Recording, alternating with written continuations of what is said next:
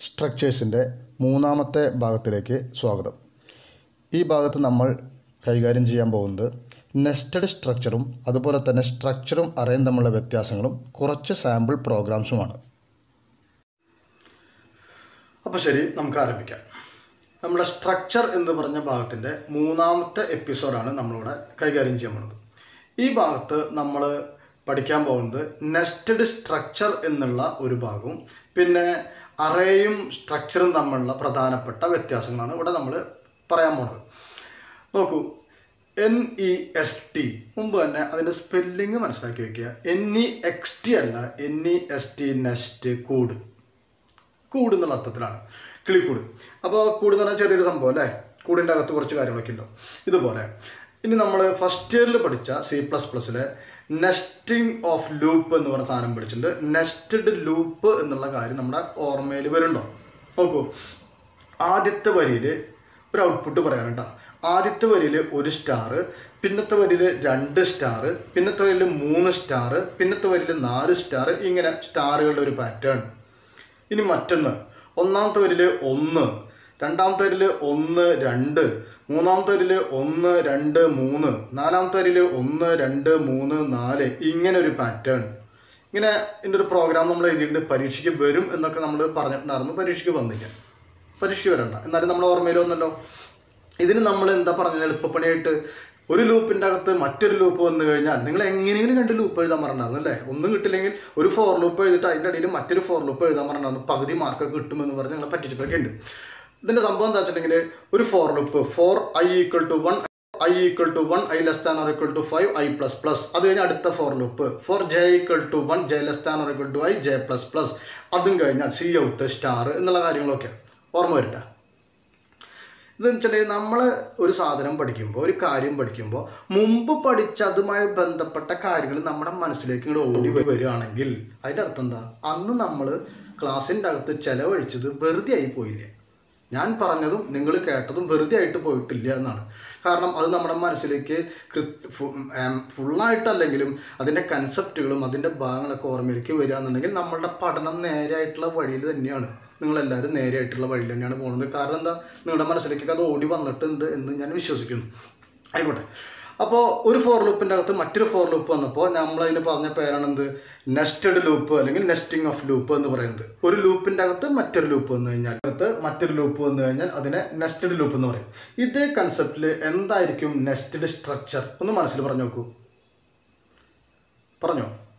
എന്താ പറയുന്നത് ഒരു സ്ട്രക്ചറിന്റെ അകത്ത് മറ്റൊരു സ്ട്രക്ചർ വന്നു കഴിഞ്ഞാൽ അത്തരം സ്ട്രക്ചറുകളെ നെസ്റ്റഡ് സ്ട്രക്ചർ എന്ന് പറയും എന്നായിരിക്കും മനസ്സിൽ പറയുന്നത്. നൂറ് ശതമാനം ശരിയാണ് നിങ്ങൾ പറഞ്ഞത്. നൂറ് ശതമാനം ശരിയാണ്. ഒരു സ്ട്രക്ചറിന്റെ അകത്ത് മറ്റൊരു സ്ട്രക്ചർ വന്നു കഴിഞ്ഞാൽ അത്തരം സ്ട്രക്ചറുകളെ നമുക്ക് നെസ്റ്റഡ് സ്ട്രക്ചർ എന്ന് പറയാം എന്ന് പറഞ്ഞിട്ടുണ്ടെങ്കിൽ അത് നൂറ് ശതമാനം ശരിയാണ് ഇത് ഈ ശരി മാത്രമല്ല നമ്മൾ പറയുന്ന ശരി മാത്രമല്ല വേറെയും ശരികളുണ്ട്. എന്താ വെച്ചിട്ടുണ്ടെങ്കിൽ നേരത്തെ പറഞ്ഞത് എന്താ? ഒന്നുകൂടി പറയാം. ഒരു സ്ട്രക്ചറിന്റെ അകത്ത് മറ്റൊരു സ്ട്രക്ചർ വന്നു കഴിഞ്ഞാൽ അതിനെ നെസ്റ്റിംഗ് ഓഫ് സ്ട്രക്ചർ അല്ലെങ്കിൽ നെസ്റ്റഡ് സ്ട്രക്ചർ എന്ന് പറയുന്നു.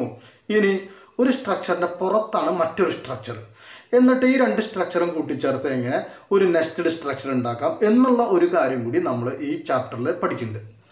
അത് രണ്ടുമാണ് നമ്മളുടെ നെസ്റ്റ് പിന്നെ ഈ നെസ്റ്റഡ് സ്ട്രക്ചറിന്റെ ഇനിഷ്യലൈസേഷൻ അത് ഉപയോഗിച്ചുള്ള പ്രോഗ്രാം ഒന്നും നമ്മുടെ സിലബസിൽ ഉൾപ്പെടുത്തിയിട്ടുണ്ടാവില്ല.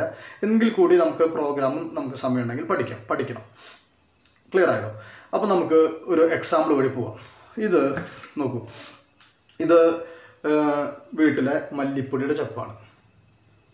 എന്താ മല്ലിപ്പൊടിയുടെ ചപ്പ് നമ്മുടെ ഇതിൽ ചോദിക്കും? മല്ലിപ്പൊടിയുടെ ചപ്പല്ല. നിങ്ങളിപ്പോൾ എന്ത് വേണം? ഇതിനൊരു സ്ട്രക്ചറായിട്ട് വിചാരിക്കണം. ഈ ചെപ്പ് ഒരു സ്ട്രക്ചറാണ് ഇതിന്റെ മുകളിൽ ഇരിക്കുന്നത് മല്ലിപ്പൊടി എന്നല്ല സ്റ്റുഡ് എന്നാണ്. അപ്പോൾ ഇതെന്താ? സ്റ്റുഡ് എന്ന് പേരുള്ള സ്ട്രക്ചറാണിത് ക്ലിയർ ആയല്ലോ? ഇനി ഈ സ്ട്രക്ചറിന്റെ അകത്തേക്ക് നമ്മൾ കുറച്ച് മെമ്പേഴ്സിന് ഇടാൻ പോവാണ്. കുറച്ച് മെമ്പേഴ്സ് ഒന്നാമത്തത് നമ്മളുടെ സ്റ്റുഡന്റായിട്ട് ബന്ധപ്പെട്ട കാര്യങ്ങൾ സ്റ്റുഡന്റിന്റെ രജിസ്റ്റർ നമ്പർ സ്റ്റുഡന്റിന്റെ രജിസ്റ്റർ നമ്പർ മനസ്സിലായോ? അപ്പോൾ ഈ രജിസ്റ്റർ നമ്പർ ഇൻഡിജറാണ് ഇതിന്റെ അകത്തേക്ക് ഇട്ടപ്പോൾ ഒന്നാമത്തെ സ്ട്രക്ചർ എലമെന്റ് ഇതിന്റെ അകത്ത് ഇട്ട് കഴിഞ്ഞാൽ പിന്നെ സ്ട്രക്ചർ എലമെന്റ് ആയിട്ടാണ് ഒന്നാമത്തെ സ്ട്രക്ചർ എലമെന്റാണ് രജിസ്റ്റർ നമ്പർ രണ്ടാമത്തെ സ്ട്രക്ചർ എലമെന്റ് ആയിട്ട് നമ്മൾ നെയിം എന്ന് പറഞ്ഞാൽ ഇടാൻ പോവാണ്. രണ്ട് ഡിഫറെന്റ് ടൈപ്പ് അപ്പോൾ സ്ട്രക്ചർ ഡിഫറെന്റ് ഡാറ്റ ടൈപ്പിനെ ഉൾക്കൊള്ളുന്ന ഒരു ഡാറ്റ യൂസർ ഡിഫൈൻഡ് ഡാറ്റ ടൈപ്പാണ് സ്ട്രക്ചർ എന്ന് പറഞ്ഞിട്ടുണ്ട്. അത് ഓർമ്മ വരണം. മൂന്നാമത്തെ സ്ട്രക്ചർ എലമെന്റ് ആയിട്ട് ഇതിന്റെ ഉള്ളിൽ ഇട്ട് കഴിഞ്ഞാൽ ഇതിപ്പോൾ ഒരു വേരിയബിൾ ആണ്. ഇതിന്റെ ഉള്ളിൽ ഇട്ട് കഴിഞ്ഞാൽ എന്തായി സ്ട്രക്ചർ എലമെന്റായി ഇതിന് പേരായി. ഇപ്പം ഒരു വേരിയബിൾ മാത്രമാണ്. ഇതിന്റെ അകത്തിട്ടാലോ ഇതൊരു സ്ട്രക്ചർ എലമെന്റായി ഇതാ മൂന്നാമത്തെ സ്ട്രക്ചർ എലമെന്റ് ബാച്ച് ഇനി ഒരു കുട്ടിയുടെ ഡേറ്റ് ഓഫ് ബർത്തോ അഡ്മിഷൻ ഡേറ്റോ ടി സി വാങ്ങിച്ചു പോയ ഡേറ്റോ ഉൾപ്പെടുത്താൻ വിചാരിക്കാം. അതിന് വേണ്ടിയിട്ട് ഇതാ വേറെ മൂന്നെണ്ണം. ഡേറ്റുമായി ബന്ധപ്പെട്ട മൂന്ന് കാര്യങ്ങൾ ഏതൊക്കെയാ? ഡേ ഉണ്ടാവാം പിന്നെ മന്ത് ഉണ്ടാവാം പിന്നെ ഇയർ ഉണ്ടാവാം. ഒന്നാമത്തതിന് വേണ്ടിയിട്ട് ഇതാ ഡേ ഇട്ടു. രണ്ടാമത്തതിന് വേണ്ടിയിട്ട് മന്ത് ഇതാ ഇട്ടു. മൂന്നാമത്തതിന് വേണ്ടിയിട്ട് ഇയർ ഇപ്പോൾ സ്ട്രക്ചർ എലമെന്റ്സ് ആറെണ്ണമായല്ലോ പക്ഷേ നമ്മൾ നോക്കൂ. ഇവിടെ അവസാനം ഇട്ട മൂന്നെണ്ണം day M O N year ഈ മൂന്നെണ്ണം ഡേറ്റ് എന്നുള്ളതിന്റെ മൂന്ന് ഭാഗങ്ങളാണ്. ഡേറ്റ് എന്ന് പറഞ്ഞ പർട്ടിക്കുലർ ആയിട്ടുള്ള ഒരു സാധനത്തിന്റെ മൂന്ന് ഭാഗങ്ങളാണ് എന്ത്? ഡേയും എം ഒ എനും ഇയറും അതുകൊണ്ട് ഞാൻ എന്ത് ചെയ്തു? ആ മൂന്നെണ്ണത്തിന് നമ്മൾ പുറത്തെടുത്തു. അത് മൂന്നിനും പുറത്തെടുത്തു. എന്നിട്ട് അതവിടെ വെച്ചു കേട്ടോ ഇനി ഈ സ്ട്രക്ചർ കാര്യം അവസാനിപ്പിക്കുകയാണ്. ഇതാ ഇതടച്ചു. മല്ലിപ്പൊടി ടിന്നെ അല്ല സ്റ്റുഡ് എന്ന് പേരെ സ്ട്രക്ചർ അടച്ചു. ഇനി ഇതിനെ ഈ ഇതിന്റെ ഉള്ളിൽ സ്ട്രക്ചർ എലമെന്റ് ഉണ്ടല്ലോ അതിനൊക്കെ നമുക്ക് ആക്സസ് ചെയ്യണമെന്നുണ്ടെങ്കിൽ എന്തെങ്കിലും കാര്യത്തിന് ഉപയോഗിക്കണമെന്നുണ്ടെങ്കിൽ നമുക്ക് എന്ത് വേണം? നേരിട്ടെടുക്കാൻ പറ്റില്ല. അതിനുവേണ്ടി ഇതിനൊരു കാവൽക്കാരനെ ഏർപ്പെടുത്തി. ഇതാ ഇതാണ് കാവൽക്കാരൻ. ഇയാളോട് ചോദിക്കാണ്ട് ഇനി ഇതിന്റെ അകത്തേക്ക് പ്രവേശനമില്ല പുറത്തേക്കും പ്രവേശനമില്ല. അപ്പോൾ സ്റ്റുഡസ് എന്ന് പറഞ്ഞാൽ സ്ട്രക്ചർ വേരിയബിളാണ് കാവൽക്കാരനല്ല സ്ട്രക്ചർ വേരിയബിളാണ് അപ്പോൾ സ്റ്റുഡ് എന്ന് പറഞ്ഞ സ്ട്രക്ചർ നമ്മൾ ഡിക്ലെയർ ചെയ്ത് കഴിഞ്ഞു. അതിന്റെ അകത്ത് സ്ട്രക്ചർ എലമെന്റ്സ് ആയിട്ട് മൂന്നെണ്ണുണ്ട് അതിന്റെ സ്ട്രക്ചർ വേരിയബിൾ ദാ ഇതൊന്ന് മാറ്റി വെച്ചു. ഇനി നമ്മൾ നേരത്തെ പറഞ്ഞ കുറച്ച് കാര്യങ്ങളില്ലേ? ഏതാണ്? ഡേറ്റിന് വേണ്ടിയിട്ട് അതിന് വേണ്ടിയിട്ട് കുരുമുളക് പൊടിയുടെ ഒരു ടിൻ എടുക്കുകയാണ് ഇതിപ്പോൾ കുരുമുളക് പൊടി ടിന്നല്ല. എന്തായിട്ട് കൺസിഡർ ചെയ്യണം? ഒരു സ്ട്രക്ചറായിട്ട് കൺസിഡർ ചെയ്യണം. അതിന്റെ പേര് ഡേറ്റ് ഡേറ്റ് എന്ന് പേരുള്ള സ്ട്രക്ചർ അതിന്റെ അകത്ത് ഒന്നാമത്തെ സ്ട്രക്ചർ എലമെന്റ് ഇൻഡ് ഡേ രണ്ടാമത്തെ structure element int M O N മൂന്നാമത്തെ സ്ട്രക്ചർ എലമെന്റ് ഇൻഡ് ഇയർ ഇവിടെ നോക്ക് ഇത് മൂന്നും ഇൻഡിജറാണ് അപ്പോൾ നേരത്തെ പറഞ്ഞ സ്ട്രക്ചർ ഡിഫറെന്റ് ടൈപ്പ് എന്ന് പറഞ്ഞില്ലേ ഡിഫറെന്റ് ടൈപ്പ് മാത്രമല്ല സെയിം ടൈപ്പും പറ്റും. Structure different or same type രണ്ടും പറ്റും. യൂസർ ഡിഫൈൻ ചെയ്യരുത്. യൂസർ ഡിഫൈൻഡ് എന്നുള്ള കാര്യത്തിലാണ് പ്രധാനം. യൂസർ ഡിഫൈൻഡ് ചെയ്യുന്ന ഒരേപോലത്തെയോ അല്ലെങ്കിൽ വ്യത്യസ്തമായതോ ആയുള്ള ഡാറ്റകളെ ഉൾക്കൊള്ളുന്ന ഡാറ്റ ടൈപ്പാണ് സ്ട്രക്ചർ ഇവിടെ മൂന്നെണ്ണം ഇട്ടു. ഇതടച്ചു അപ്പോൾ ഡേറ്റ് എന്ന് പറഞ്ഞ സ്ട്രക്ചറിന്റെ അകത്ത് int day int M O N int year എന്നുള്ള മൂന്ന് സ്ട്രക്ചർ വേരിയബിൾസ് ഉണ്ട്. ഇനി ഇതിനെ ആക്സസ് ചെയ്യണമെങ്കിലോ? എസ് ചെയ്യാന്ന് പറഞ്ഞാൽ ഇതിലത്തെ എലമെൻസിനെ എന്തെങ്കിലും കാര്യത്തിന് ഉപയോഗിക്കണമെങ്കിലോ? തന്നെ പറ്റില്ല ആരോട് ചോദിക്കണം? ദാ ചോദിക്കുന്ന ആൾ വന്നു കാവൽക്കാരൻ വന്നു. അയാളുടെ പേര് ഡി ടി എന്നാണ്. Structure variable D T clear ആയാലോ ഇപ്പം നമ്മുടെ അടുത്ത് രണ്ട് സ്ട്രക്ചർ ഉണ്ട്. സ്റ്റുഡ് എന്ന് പേരായ സ്ട്രക്ചർ അതിന്റെ സ്ട്രക്ചർ വേരിയബിൾ എസ് ഡേറ്റ് എന്ന് പേരായ സ്ട്രക്ചർ അതിന്റെ സ്ട്രക്ചർ വേരിയബിൾ ഡി ടി ഇനി ഒരു സൂത്രം കാണിക്കാണ്. സൂത്രമൊന്നുമല്ല വലിയ കാര്യമൊന്നുമില്ല. എന്താ ചെയ്യുക ഇതാ ഇതിനെടുത്ത് ഇതിന്റെ അകത്തേക്ക് വെച്ചു അടച്ചു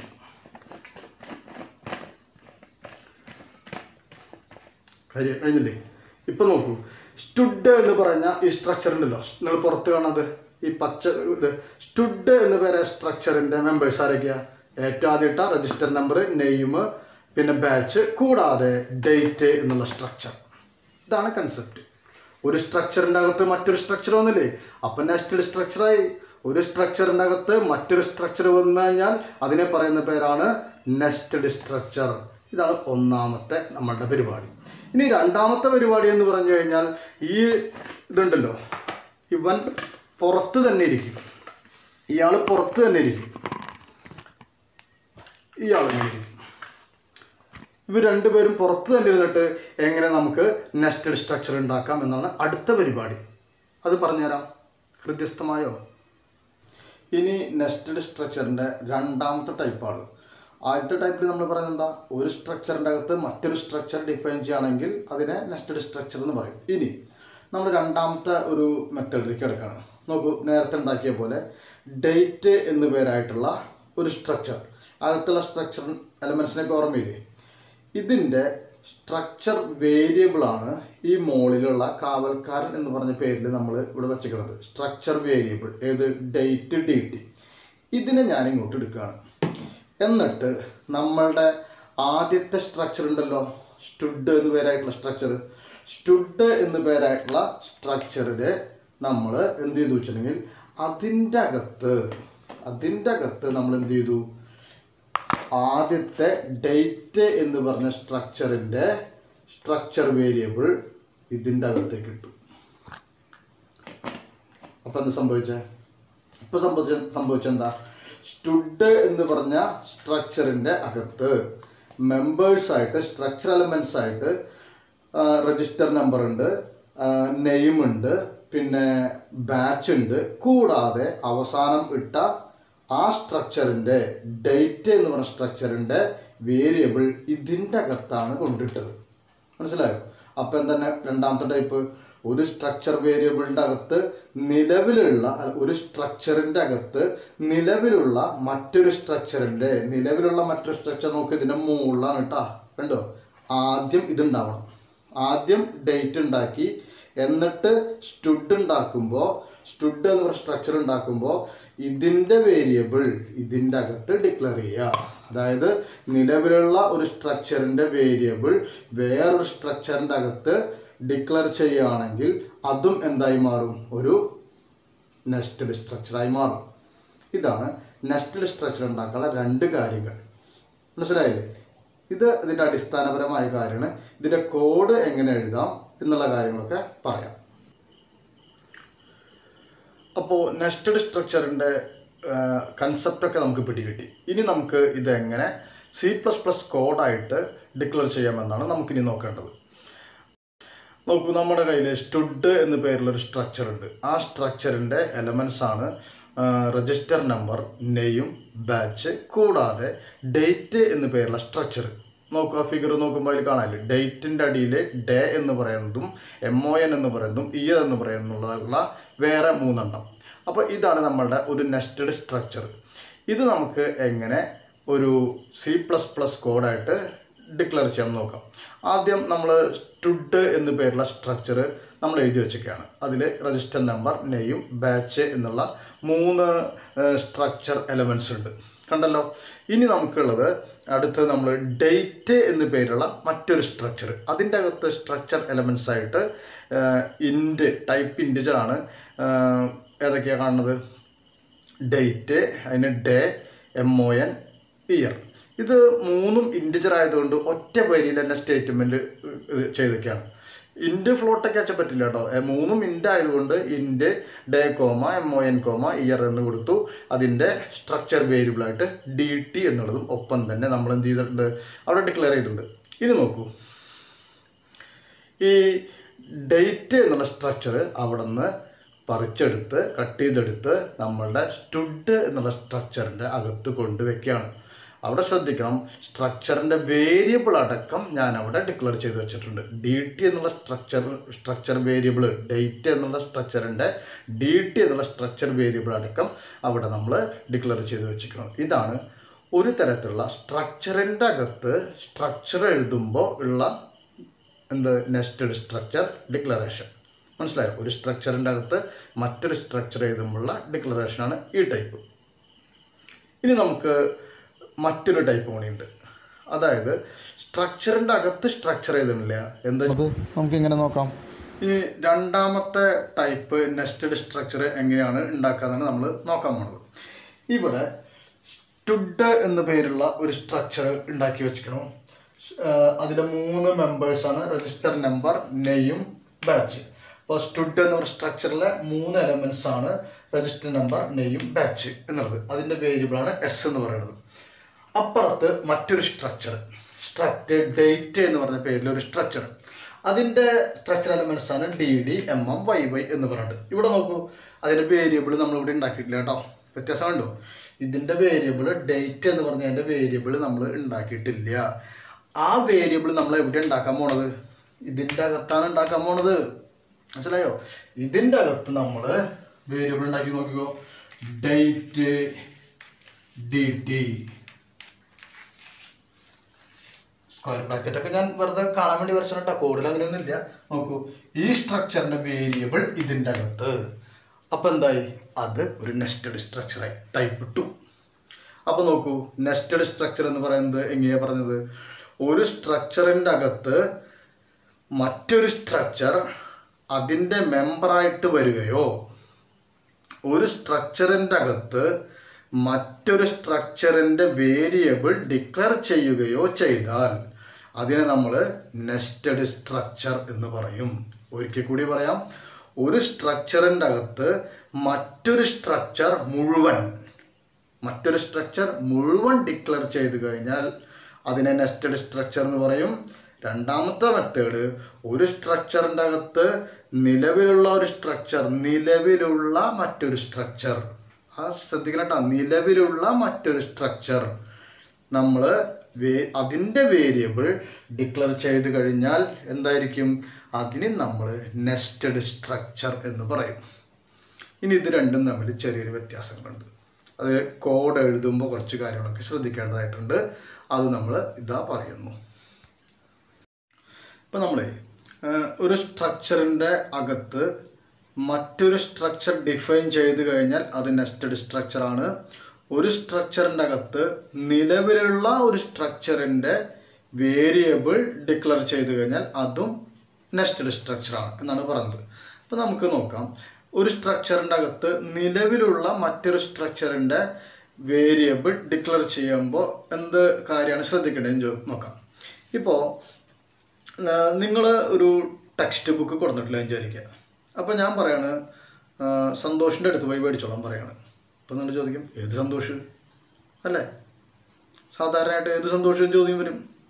അപ്പോൾ നിങ്ങളോട് എന്ത് ചെയ്യണം? മുമ്പ് സന്തോഷം ഏതാന്ന് പറഞ്ഞിട്ട് വേണം. അല്ലെങ്കിൽ നിങ്ങൾക്ക് മുമ്പ് സന്തോഷം ഏതാന്ന് അറിഞ്ഞാൽ മാത്രമേ നിങ്ങൾക്ക് അയാളുടെ നിന്ന് പോയിട്ട് വാങ്ങാൻ പറ്റുള്ളൂ. സിമ്പിൾ കാര്യമല്ലേ ഇതുപോലെ തന്നെയാണ്. നമ്മൾ ഒരു സ്ട്രക്ചറിന്റെ അകത്ത് മറ്റൊരു സ്ട്രക്ചറിന്റെ വേരിയബിൾ ഉണ്ടാക്കാൻ പോകുമ്പോൾ ഈ മറ്റൊരു സ്ട്രക്ചർ മുമ്പ് ഉണ്ടാക്കി വെക്കണം. ഇത്രയേ ഉള്ളൂ. അതായത് വീണ്ടും പറയാം. നമ്മളുടെ കയ്യിൽ സ്റ്റുഡന്റ് എന്ന് പേരുള്ള ഒരു സ്ട്രക്ചർ ഉണ്ട്. അതിലത്തെ വേരിയബിൾസ് ആണ് രജിസ്റ്റർ നമ്പർ നെയിം ബാച്ച് ആ സ്ട്രക്ചറിന്റെ അകത്ത് നമ്മൾ ഈ കാണുന്ന പോലെ ഡേറ്റ് ഡി ടി എന്നുള്ള ഒരു വേരിയബിൾ ഡിക്ലെയർ ചെയ്യാൻ പോവാണ്. കണ്ടു? അവിടെ ഡേറ്റ് ഡി ടി ഉണ്ടോ? അപ്പോൾ ഈ കമ്പൈലർ ചോദിക്കേ ആരാ ഈ ഡേറ്റ് അപ്പോൾ നോക്കൂ നമ്മുടെ കോഡിന്റെ മുകളിൽ എഴുതിക്കുന്നുണ്ട് ഫസ്റ്റ് തന്നെ സ്ട്രക്റ്റ് ഡേറ്റ് അതിന്റെ അകത്ത് ഇൻഡ് ഡേ ഇൻഡ് മന്ത് മൺ എം ഒ എൻ മന്തിന് വേണ്ടിയിട്ട് ഇൻഡ് ഇയർ മനസ്സിലായോ? അത് മുമ്പ് ഉണ്ടാക്കി വെച്ചു. അതിന് ശേഷമാണ് നമ്മൾ എന്ത് ചെയ്യുന്നത്? സ്ട്രക്ചറിന്റെ അകത്ത് നമ്മൾ ഡേറ്റ് എന്ന് പറയുന്നതിന്റെ ഡി ടി എന്നുള്ള വേരിയബിൾ ഡിക്ലെയർ ചെയ്ത്. അത് നിർബന്ധമാണ് അല്ലാണ്ട് മുമ്പ് സ്റ്റുഡന്റ് ഉണ്ടാക്കി വെച്ചിട്ട് അതിന്റെ അടിയിൽ കൊണ്ട് അഡ്മിഷൻ ഡേറ്റ് എന്ന് പറയുന്ന സ്ട്രക്ചർ ഉണ്ടാക്കാൻ പറ്റില്ല. രണ്ട് തരത്തിലുള്ള സ്ട്രക്ചർ ഡെഫിനേഷനാണ് ഇവിടെ കൊടുത്തിരിക്കുന്നത്. നെസ്റ്റഡ് സ്ട്രക്ചറിന്റെ ഡെഫിനേഷൻ അതൊന്ന് പരിശോധിച്ച് നോക്കുക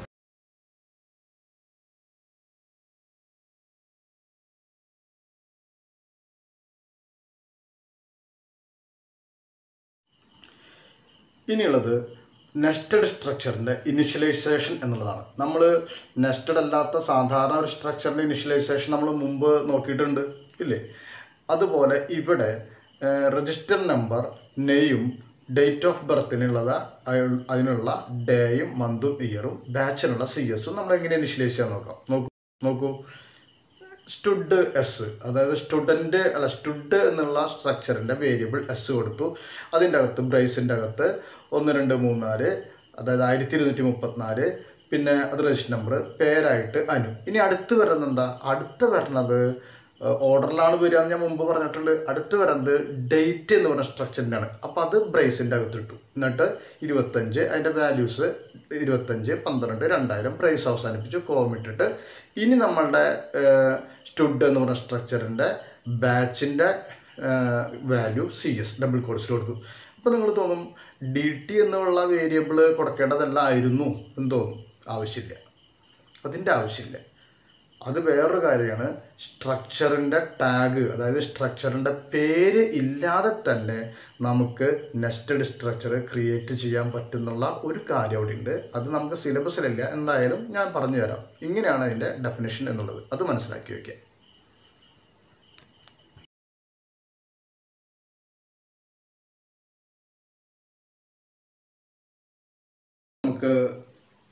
അറേയും സ്ട്രക്ചറും തമ്മിലുള്ള പ്രധാനപ്പെട്ട വ്യത്യാസങ്ങൾ എന്താണെന്ന് നോക്കാം. പരീക്ഷയ്ക്ക് മിക്കവാറും പരീക്ഷയ്ക്ക് ചോദിക്കുന്ന ചോദ്യമാണ് ഈ ചാപ്റ്ററിൽ എന്തൊക്കെയാണ് അറേയും സ്ട്രക്ചറും തമ്മിലുള്ള വ്യത്യാസം എന്നുള്ളത്. നോക്കാം. അപ്പോൾ പറഞ്ഞല്ലോ വളരെ ഇമ്പോർട്ടന്റ് ആയിട്ടുള്ള കാര്യമാണ് അറേയും സ്ട്രക്ചറും തമ്മിലുള്ള വ്യത്യാസം എന്ന് പറയുന്നത്. അപ്പോൾ നമുക്ക് പറയാം ഒന്നാമത്തെ വർഷത്തിൽ നമ്മൾ പഠിച്ച കാര്യമുണ്ട് ഫണ്ടമെന്റൽ ഡാറ്റ ടൈപ്സ് എന്ന് പറഞ്ഞാൽ int float char double void ഈ ഫണ്ടമെന്റൽ ഡാറ്റ ടൈപ്പിൽ നിന്നും ഡിറൈവ് ചെയ്തുണ്ടാക്കിയ ഡാറ്റ ടൈപ്പാണ് അറേ എന്ന് പറയുന്നത്. പിടികിട്ടിയ? ഡിറൈവ് ചെയ്തുണ്ടാക്കുക എന്ന് പറഞ്ഞു കഴിഞ്ഞാൽ ഫിസിക്സുകാർക്കൊക്കെ ഡെറിവേഷൻ മാത്സുകാർക്കൊക്കെ ഡെറിവേഷൻ എന്ന് സം- വലിയ സംഭവമുണ്ട്. ഇതിൽ അത്രയ്ക്ക് വലിയ കാര്യമൊന്നുമില്ല. നോക്കിക്കോളൂ കേട്ടോ. നോക്കൂ. ഫണ്ടമെന്റൽ ഡാറ്റ ടൈപ്പ് ഇന്റ് ഒരു മാർക്കിന് വേണ്ടിയിട്ട് ഇന്റ് മാർക്ക് എന്ന് പറഞ്ഞ വേരിയബിൾ ഇതാണ് സാധാരണ പരിപാടി.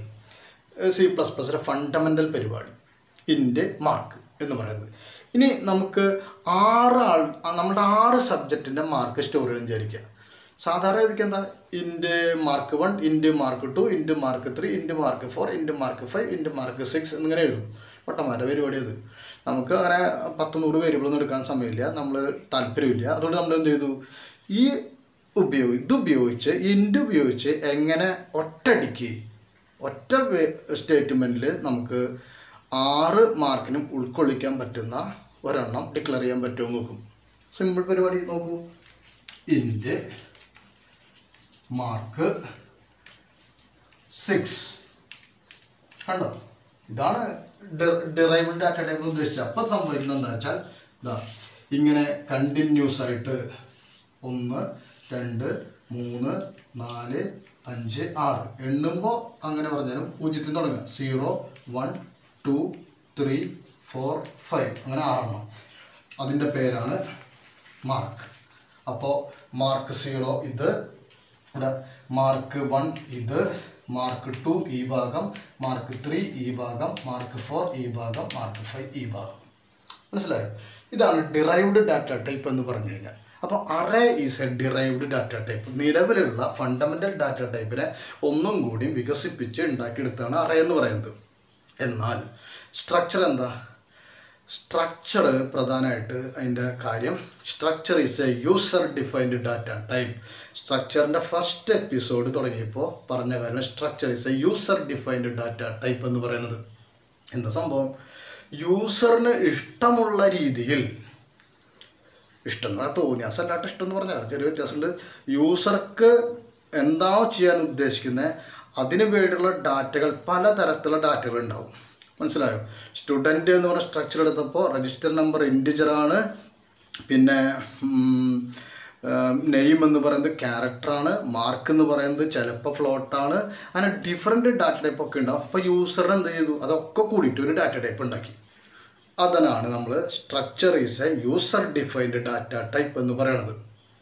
ഞാൻ എഴുതണില്ല നമുക്ക് കാണാം. ഇനി രണ്ടാമത് പ്രധാനപ്പെട്ട വ്യത്യാസം.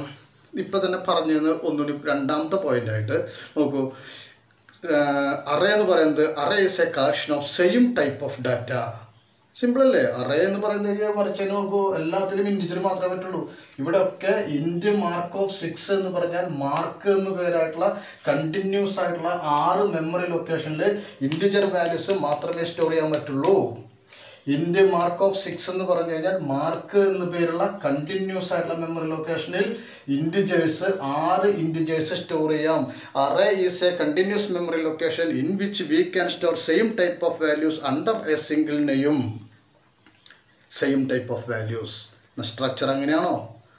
സ്ട്രക്ചർ എങ്ങനെയാണ് structure collection of different type of data structure എന്ന് പറഞ്ഞാൽ ഡിഫറെന്റ് ടൈപ്പ് ഓഫ് ഡാറ്റ ഉള്ളതാണ്. ഇനി സ്ട്രക്ചർ എലമെൻസിനെ എങ്ങനെ അസസ് ചെയ്യുക ഞാൻ സ്ട്രക്ചറിന്റെ അല്ല അറേ എലമെൻസ് എങ്ങനെ അസസ് ചെയ്യുക ഞാൻ അറേയുടെ ഡെഫിനിഷൻ ഒന്നുകൂടി പറയണം. Array's a continuous memory location in which we can store same type of values datas under a single നെയും each element of an array identified by its index മനസ്സിലായോ? അപ്പോൾ ഓരോ എലമെന്റിനെയും ഐഡന്റിഫൈ ചെയ്യാൻ അതായത് അസസ് ചെയ്യാൻ ഉപയോഗിക്കുന്നത് അതിന്റെ ഇൻഡെക്സ് അല്ലെങ്കിൽ സബ്സ്ക്രിപ്റ്റ് വഴിയാണ്. ഇപ്പോൾ നോക്കൂ ഇവിടെ മാർക്ക് ഓഫ് സീറോ ഇതിന്റെ അകത്ത് ഇരുപത്തഞ്ചിന്റെ എഴുതി വെച്ചാലേ മാർക്ക് ഓഫ് സീറോ അതാണ് ഇരുപത്തിയഞ്ച് എന്ന് പറയുന്നത് മനസ്സിലായോ? അപ്പോൾ ഇതിന്റെ അകത്ത് സ്ക്വയർ ബ്രാക്കറ്റിന്റെ അകത്ത് എന്താ? ഇൻഡെക്സ് ആണ്. ആ ഇൻഡെക്സ് ഉപയോഗിച്ചിട്ടാണ് ഓരോ എലമെന്റിനെയും ഐഡന്റിഫൈ ചെയ്യുന്നത്. അപ്പോൾ elements of an are identified by its index എന്നാൽ അസസ്ഡ് ബൈ ഇറ്റ്സ് ഇൻഡെക്സ് നമ്മളുടെ സ്ട്രക്ചർ മെമ്പേഴ്സിനെ എങ്ങനെ അസസ് ചെയ്യുക പുറത്തേക്ക് എടുക്കുക? അല്ലെങ്കിൽ അത് ഉപയോഗിക്കുക? Structure elements accessed using dot operator അല്ലേ? Along with structure variable structure വേരിയബിളിന്റെ ഒപ്പം ഡോട്ട് ഓപ്പറേറ്ററും കൂടി ഉപയോഗിച്ചിട്ടാണ് സ്ട്രക്ചർ മെമ്പേഴ്സ് ആക്സസ് ചെയ്യുക എന്നുള്ളതാണ് അതിന്റെ അടുത്ത വ്യത്യാസം. അപ്പം മൂന്ന് വ്യത്യാസങ്ങൾ കഴിഞ്ഞല്ലോ. ഇനി നമ്മൾ അടുത്തത് മൾട്ടി ഡയമെൻഷണൽ അറേ ഉണ്ടാക്കാൻ പറ്റും എന്നാണ് പറയുന്നത്. മൾട്ടി ഡയമെൻഷൻ അറേ എന്ന് പറയുന്നത് മെട്രിക്സ് കഴിഞ്ഞ വർഷം നമ്മൾ ഉണ്ടാക്കാൻ പഠിച്ചിട്ടുണ്ട് ടു ഡയമെൻഷൻ അറേ മെട്രിക്സ് എന്ന് പറഞ്ഞിട്ട് ഇല്ലേ? അപ്പോൾ നമ്മളെങ്ങനെ എഴുതിയാറുണ്ട് ഇങ്ങനെ അല്ലേ ഇൻഡ് എം നാല് അടുത്തത് നാല്. അപ്പോൾ രണ്ട് ഡയമെൻഷനൽ ഒന്നാമത്തത് ഒന്നാമത്തത് രണ്ടാമത്തത്. ക്ലിയറായോ ടു ഡയമെൻഷണൽ അറേ എന്ന് പറഞ്ഞാൽ മെട്രിക്സ് എന്ന് പറഞ്ഞാൽ. അതായത് ഒരു അറയുടെ അകത്ത് മറ്റൊരു അറേ അതാണ് ശരിക്ക് അപ്പോൾ അതാണ് two dimensional multi dimensional array എന്ന് പറയുന്നത്. ഇവിടെ ഒരു സ്ട്രക്ചറിന്റെ അകത്ത് മറ്റൊരു സ്ട്രക്ചർ വന്നാൽ നമ്മൾ ഇതിനെന്ത് പറയാ? നെസ്റ്റഡ് സ്ട്രക്ചർ ഒരു അറയുടെ അകത്ത് മറ്റൊരു അറേ വന്നു കഴിഞ്ഞാൽ അതിനെ മൾട്ടി ഡയമെൻഷണൽ അറേ എന്ന് പറയും. ഇവിടെ ഒരു സ്ട്രക്ചറിന്റെ അകത്ത് മറ്റൊരു സ്ട്രക്ചർ വന്നാൽ അതിനെ നമ്മൾ എന്ത് പറയും? നെസ്റ്റഡ് സ്ട്രക്ചർ എന്ന് പറയും. അതാണ് അതിന്റെ ഒരു വ്യത്യാസം. പിന്നെ പേരുള്ള വ്യത്യാസമുള്ളൂ.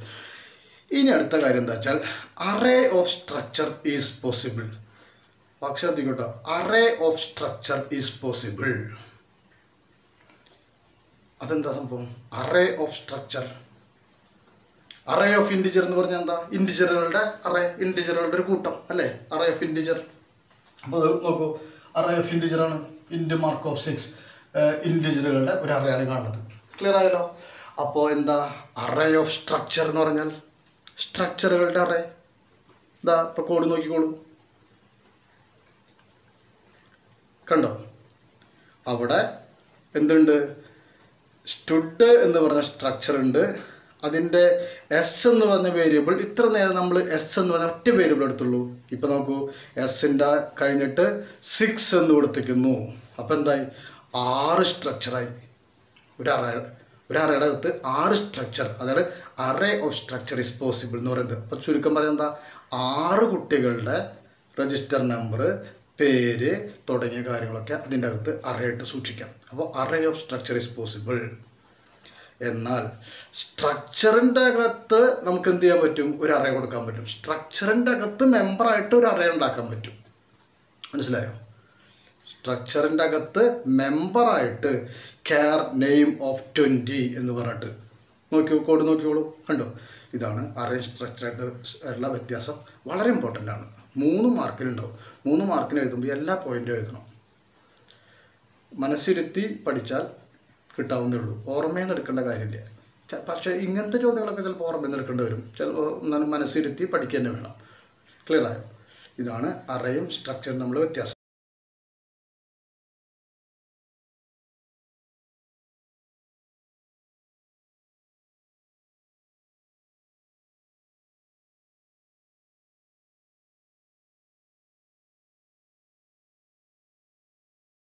അപ്പോൾ ചുരുക്കത്തിൽ നമ്മളുടെ സ്ട്രക്ചർ എന്ന് പറയുന്ന ചാപ്റ്ററിലെ ഭാഗത്തിലെ എല്ലാ ഭാഗവും നമ്മൾ കവർ ചെയ്ത് കഴിഞ്ഞു. ഇനി കുറച്ച് സാമ്പിൾ പ്രോഗ്രാംസ് ആണ് നമുക്ക് ചെയ്യാനുള്ളത്. അത് നമുക്ക് വളരെ ഭംഗിയായിട്ട് ചെയ്യാം. പരീക്ഷയ്ക്ക് ഡയറക്റ്റായിട്ട് വന്നില്ലെങ്കിലും ലാബ് എക്സാമിന് ഉണ്ടായിരിക്കും. പിന്നെ ചിലപ്പോഴൊക്കെ കോഡ് എഴുതിയിട്ട് തിരുത്താൻ വരും. അതിലുപരി പ്ലസ് ടു കമ്പ്യൂട്ടർ സയൻസ് പഠിച്ചു കഴിഞ്ഞിട്ട് നിങ്ങൾ കമ്പ്യൂട്ടർ സയൻസ് എന്ന് പറഞ്ഞ മേഖലയിലേക്ക് തന്നെ പോകണം എന്നാണ് കമ്പ്യൂട്ടർ സയൻസ് എന്നുള്ള അധ്യാപകർ എന്നുള്ള നിലയ്ക്ക് ഞങ്ങൾക്ക് എല്ലാവരുടെയും ആഗ്രഹം. അപ്പം നിങ്ങൾക്ക് കോഡിംഗ് എന്ന് പറയുന്നതൊക്കെ നന്നായിട്ട് ഭംഗിയായിട്ട് ചെയ്യാനും എഴുതാനും അറിയണം. അതാണ് നമ്മൾ ഈ പഠിക്കുന്നതിന്റെ ഉദ്ദേശം. കോഡിംഗ് എന്ന് പറയുന്നത് നന്നായിട്ട് അറിയണം.